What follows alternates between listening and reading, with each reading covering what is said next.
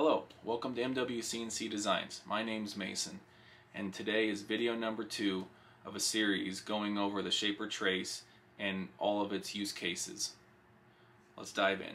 Okay, so the purpose of using the trace today is to take my assortment of Torx and Allens that I do not have organizers for and to um, create an SVG file that I can put into Carbide Create to create a cutting profile and then I can cut it out on my Shapeoko Pro. And just to keep it real, this is how my drawer normally looks. I also have assortment of adapters for ratchets that are just loosely laying around in my roll cart. Some of the smaller adapters I'll put on this magnet. It only works until I roll the cart around and then a bump knocks them off. Okay, so from onlinemetals.com I ordered two 12 inch by 4 inch by 3 quarter thick 6061 aluminum. Now I know the practical way would just be to use digital calipers to measure the diameter of each socket um, but I wanted to showcase the use of the shaper trace and try to turn it into a one tool for everything with inside of its realm and to see exactly what is the capabilities of the shaper trace and what are its limitations. Do I believe that this was faster running with the shaper trace instead of just getting the measurements with the digital caliper? I don't know, I didn't actually keep track. I'm only doing this so I can find out the best use cases for the shaper trace. Okay, so the first thing you're going to need to get is a piece of paper. Printer paper works just fine and uh, this is actually what you draw your trace on and the shaper trace sits over the top of it. I'm just going to place every socket just so that I know that I've traced it in order and I don't miss one. I just wanted to show the process that I would use if you do have a set of digital calipers. All you have to do is find the widest point of the socket and get its known diameter. This one's 0.9 and the next socket's about 0.7 but this video is about challenging the shaper trace and all that it can do so I'm just going to trace each socket I also labeled each socket and the size um, so that when it gets pulled into Carbide Create I have an easier workflow to try to make this as efficient as possible.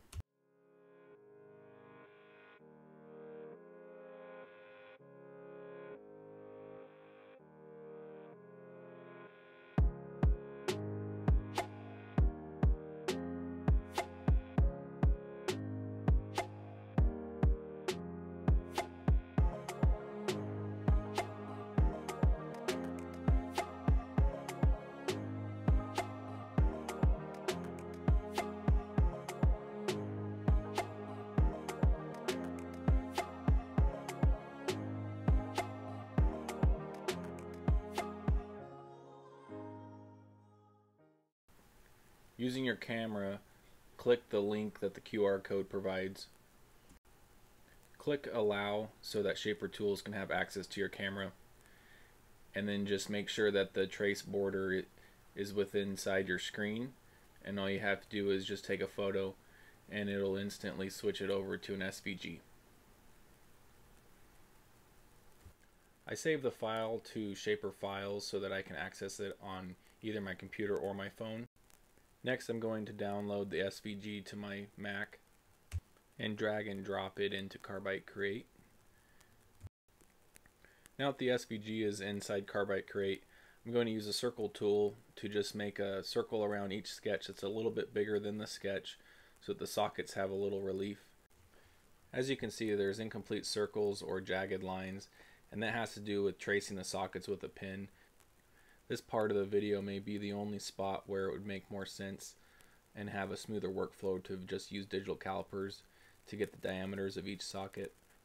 But I would say using a caliper there could be human error when it comes to typing in the sizes so the shaper trace is providing a known diameter through the sketch that we can be confident in for a cut profile. Okay, so I skipped through this next part of the video just to save some time on the length of this video. Uh, essentially, I just took all those circles that I traced, lined them up, spaced them evenly how I wanted to, build my profile. I am added text uh, to each each socket so I know exactly which one it is. I'll only be using two bits. One of them is a quarter inch carbide bit and that'll do the outer perimeter and all of the pockets for every socket. And then the other bit I'll be using is a drag bit from Carbide Create where it's just going to etch in the text items for each size. Everyone has their own method, but when it comes to surfacing, I like to use blue painter's tape and super glue. This provides a very strong hold down method so that while you're surfacing you don't have to worry about hitting any of your work holding tools.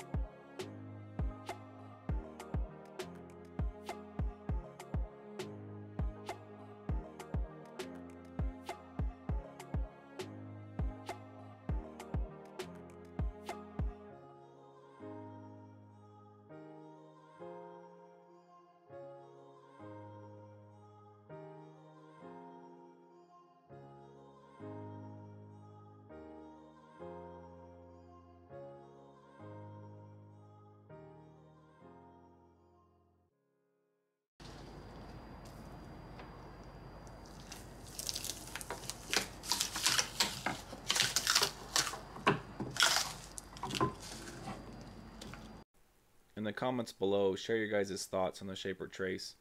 And also if you guys have any other ideas or challenges that I can use to continue testing this tool.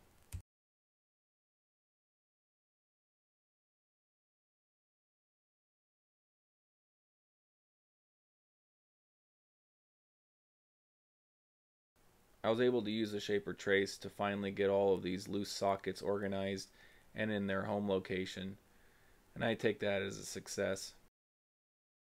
If you enjoyed this video, hit the like button, comment, and subscribe. And thank you for watching. I'll see you in the next video.